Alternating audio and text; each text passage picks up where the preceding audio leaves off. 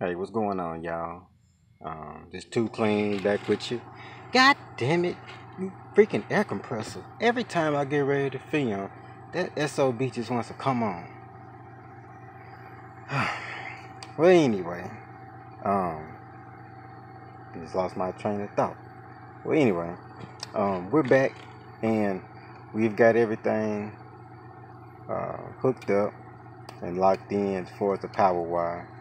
And I know some people may say, well, you're putting too much into it, you know, but for the people that's doing it themselves on this type of vehicle, or if you're just looking for a kind of a step-by-step -step, a walkthrough on how it's done, I feel as though it's good, you know, to kind of go the long way. Because like I say, as long as you're doing it right, you do it light. But if you do it wrong, you're going to be doing it long because you're going to encounter a lot of problems.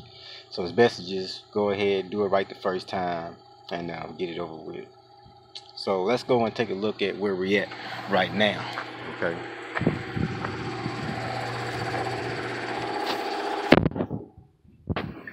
Alright. As you can see, everything here is locked down.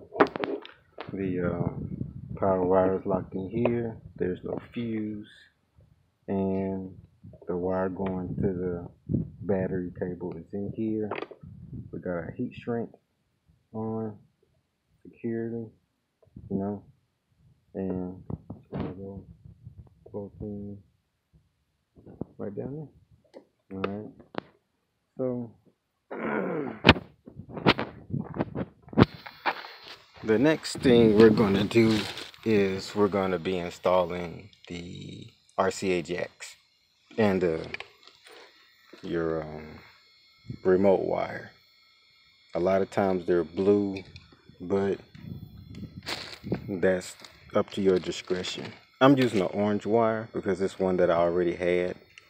And on this you see that little black piece right there? That's another piece of heat shrink. And this end is going to the back of the radio on your remote wire okay and I believe I have enough remote wire here to run it but I also have a second piece here just in case I need more. And what do I always say about having more? It's better to have and not need than to need and not have okay? So just in case I need to mount my amp somewhere within the trunk where I figure out later this is what I want to do I can do that because I have more than enough. Okay. I got a pack of heat shrink here. I ordered online. It's real good to use because it encloses your, um, you know, have packets like that. It encloses your wires so that way they're not exposed, and it, you know, it look it makes it look neat, you know. So we're gonna go ahead and take. This is my Pioneer head unit, and like I said, this is not the final unit that I'm going to put in. This is just satisfying my musical attraction. So, but it works pretty good, you know. I like it. Nice and loud. Okay.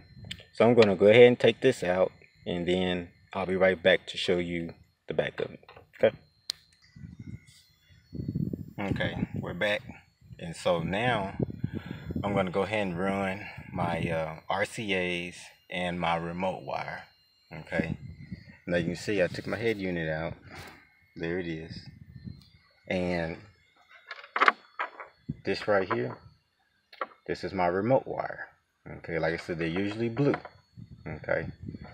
But check with your user manual for whatever head unit that you're using and make sure that uh, it, it, it meets compliance. It is blue or whatever wire it may be okay?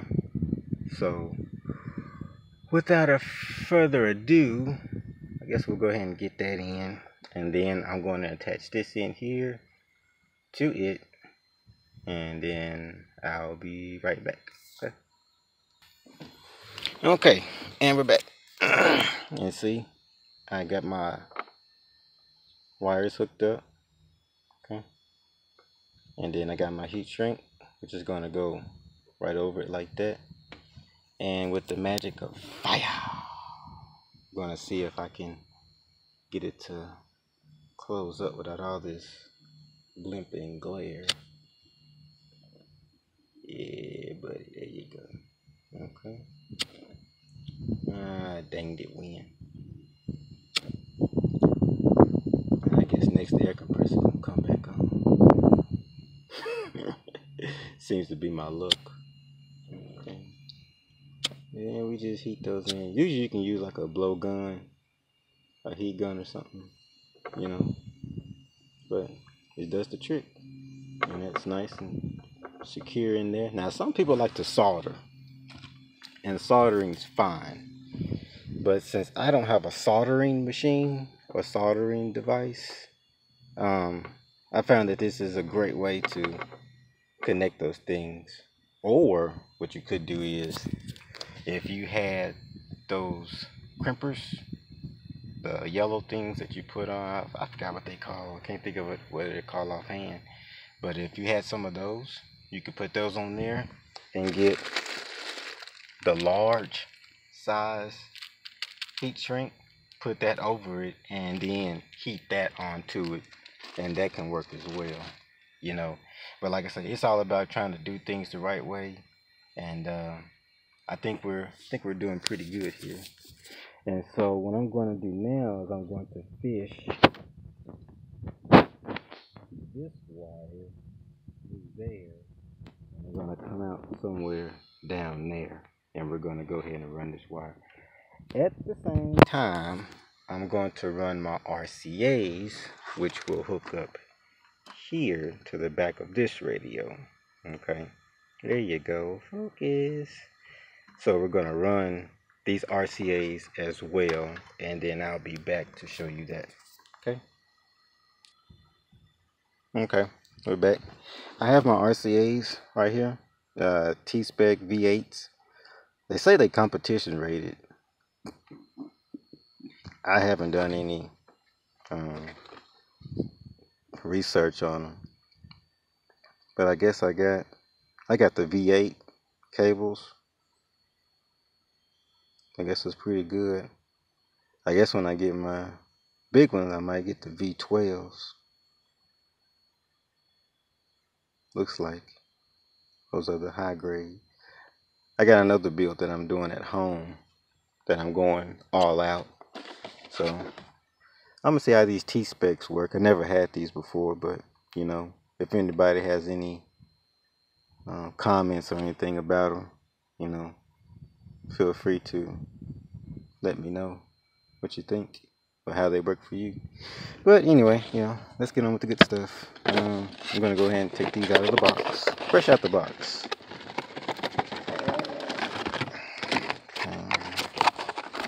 Let's get these out of there.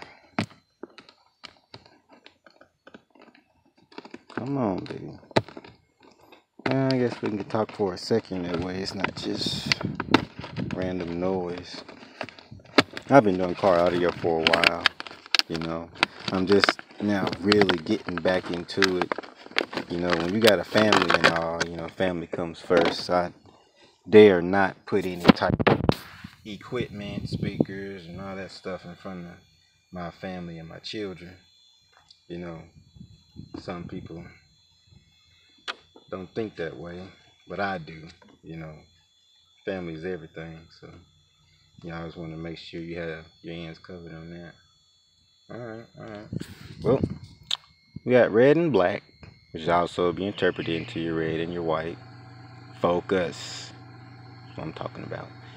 So, I'm going to go ahead and run these down through there along with this uh, power antenna wire. And then, like I said, we're going to come out somewhere down there and head on back to the trunk okay? So I'll be back again with you and we'll get this show on road. Okay we're back. That's a little bit more difficult than I thought but we did it. So see we got our power wire to our remote turn on wire I mean and we got our terminals. If you want to focus on that that would be nice there you go thank you okay and so we're going to go ahead and run the wires from in there down through here.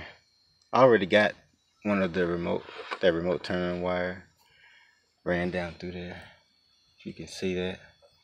And so we're just gonna the steering wheel up.